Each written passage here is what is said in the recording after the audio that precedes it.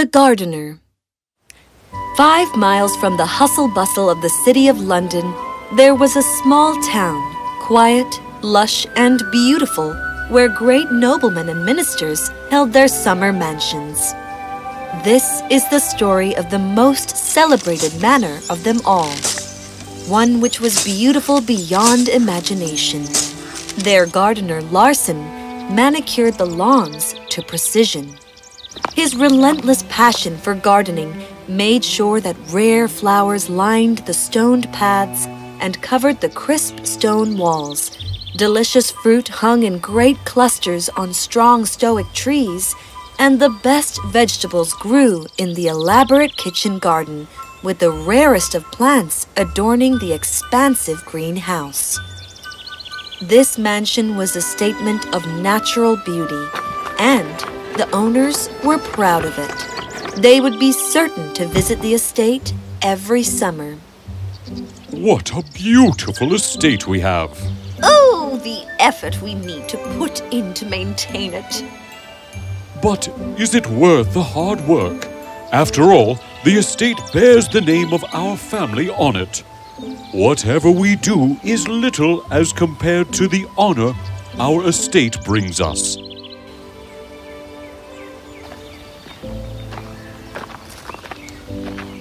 Your lordship, sir, welcome. Hello, Larsen. What have you got for us this year? Sir, I have been tending Indian mangoes for over five years now. Fruit requires a particular kind of soil and special methods of watering. I spent months studying how to grow it, but... That is enough, Larsen. Do we have a crop? Oh, yes, here it is. I picked the best ones for you. I picked them myself. Perfect shape and perfect size. I wish you'd wash up, Larsen. Oh, oh, sorry. I have just been digging up for these new radishes from France. Cut these up and let's go see if Larsen's Indian mangoes are any good. You should have had them cut up already, Larsen. I am sorry, ma'am. I'll. Just wash up.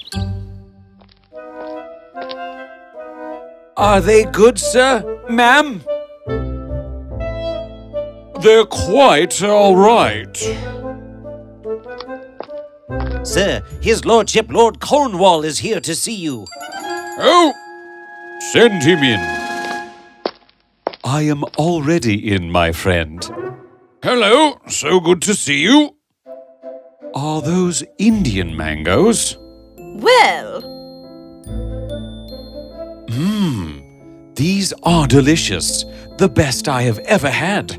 When did you go to India? These are not from India. Larsen managed to grow them right here on our estate. Larsen, you are a miracle worker. Larsen, didn't you have work in the garden? Uh, oh, yes, ma'am. My radishes.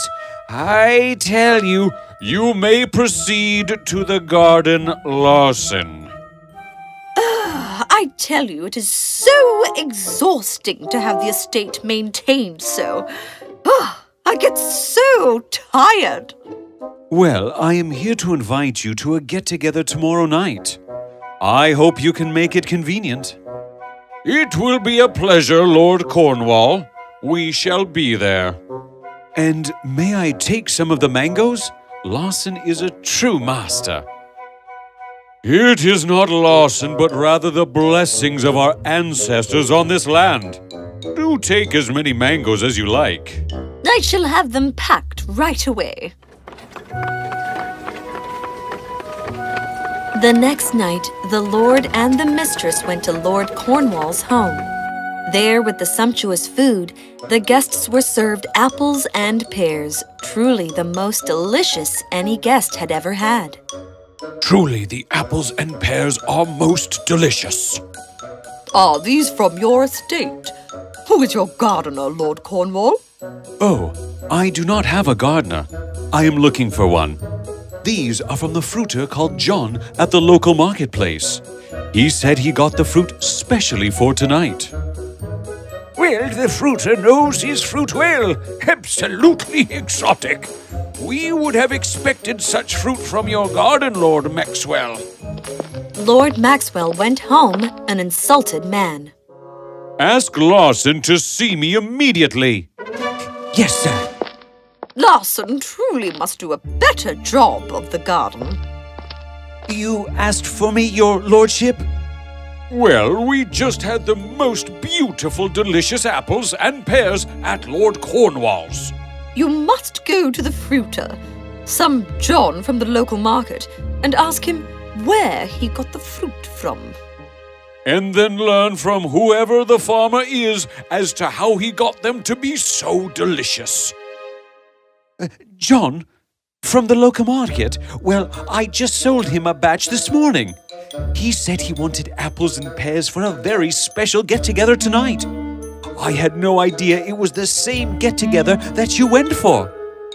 So those apples and pears were from our garden? Can you prove it? Uh, oh, yes. Here is the bill of the sale, sir. I had tried a special combination of soil and manure to get the fruit to be larger and juicier and. Larsen! You might have had us taste them first. But I did serve them to you last time you were here, and you said they were quite all right. Enough!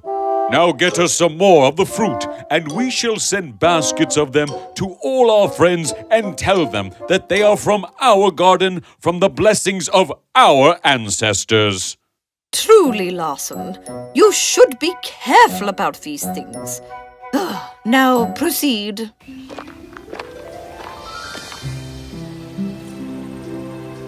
Larsen, you toil day and night in the garden. It is because of you that the garden is the most beautiful estate in the entire country. And yet they never say one word of praise for you. Ha, ah, the packing is done. Now I can go and see to the blue lotuses. Blue lotus? Yes, and don't worry too much about it. As long as they let me do whatever I want in the garden, I am fine. The next morning, Lord Maxwell received an urgent message. The king and princess wanted him to come to the palace immediately for some important business. What is it, dear? The king and the princess have called me to the palace immediately on the business of Alabama. You will have to leave right away. I shall help you pack. Well, shouldn't I carry a gift for the princess? But will you have time to get something for her? The princess is a connoisseur of rare flowers. Call Larsen here. So Larsen was asked to bring a rare flower from the garden, and he presented his blue lotus to Lord Maxwell. Are you sure it is rare? Oh, yes, your lordship. It is found only in the high mountains of India and Tibet. But I... Enough! Larsen, the melons! Melons?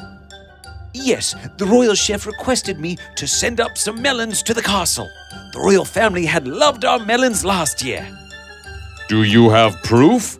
Oh, here is the note the royal chef sent me this morning, sir. You should have had us taste them. I did, ma'am, but you said that they were quite all right. Last summer, the royal gardener's crop failed, so he asked me for some and he presented them to the chef and to the royal family. Now, don't get all muddled. You must leave now, dear. Bye, dear. Keep the melons in the carriage. Lord Maxwell presented the flower to the princess, and she was delighted. She had the flower put in a crystal bowl right in the center of the conference table.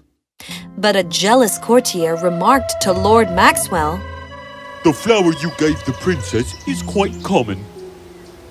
Isn't it? You mustn't let Larsen fool you like this, Lord Maxwell. There is a gardener I know who is much better than Larsen.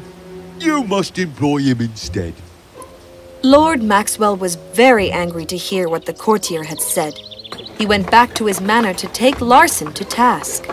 When he reached the manor, Larsen was in the garden talking to Lady Maxwell.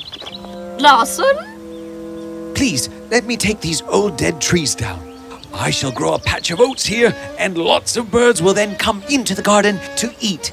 And the garden will be full of their happy chatter and will come alive with their vibrant colors. Those trees have been there forever, Larsen. From before you came here. You will not touch them. But, sir, I thought. Don't forget, Larsen. This garden belongs to our family. How dare you decide how to run it? I am sorry, sir.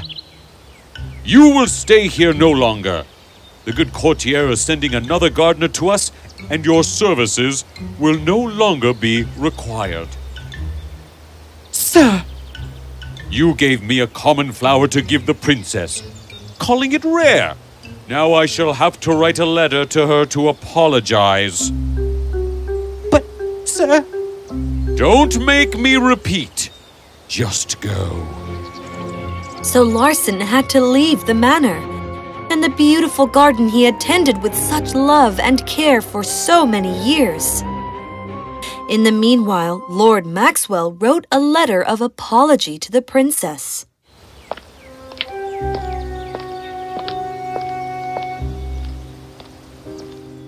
Your Highness, I deeply regret to inform you that the blue lotus I had presented to you on my recent visit to the palace was not rare as I had been told it was.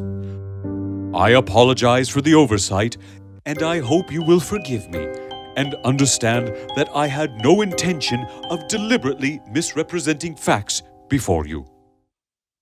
Yours sincerely, Lord Maxwell.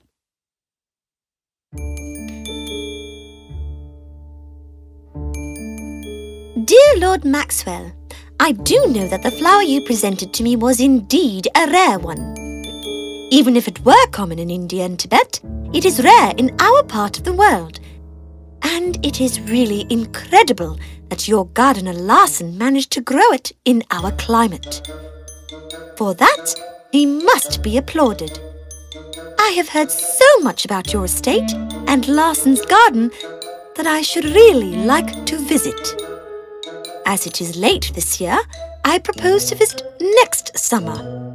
If it does not inconvenience you in any way, yours sincerely, Princess Flora.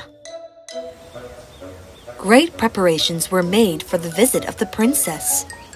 New seeds were procured, new flowers bought, all of it with the new gardener for the Maxwells.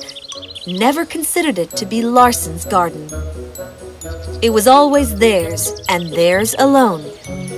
In the meanwhile, Larsen had found a home with Lord Cornwall and was working his magic in Lord Cornwall's garden. A year passed. It was summer again, and the Maxwells awaited the visit of the princess. The princess reached the small town. Stop, coachman, stop! A patch of oats that the birds can feed on? Only Larsen could have thought of it. This simply must be the place. Your Highness, I am quite sure that Lord Maxwell's estate is a little way ahead. And I am sure that this must be the estate. This has to be the most beautiful garden in the whole country. It can only be the handiwork of the good Larsen. Larsen? Is that you? Yes. I am Princess Flora. Princess! I am so sorry, ma'am. I, I must wash up. It just goes to show with how much passion you do your work. Do you have my favorite melons? Yes, I shall bring them out right away. In the meanwhile, the coachman had sent a message to Lord Maxwell that the princess had arrived. They rushed to Lord Cornwall's estate.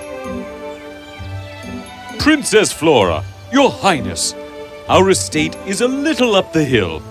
Is it? But Larsen is here. Then Princess Flora was told of how Larsen had been made to leave after giving a common flower for the princess. Princess Flora heard She was wise enough to realize that the selfish Maxwells had never appreciated Larsen for his great talent and love of gardening. She decided to put that right. Larsen, you are a wonderfully talented and passionate gardener.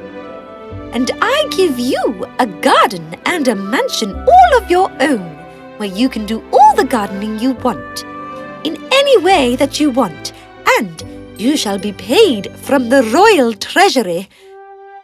Let all who see your garden call it Larsen's Paradise, and that is how it shall be known all over the country. Finally, Larsen got the appreciation he deserved.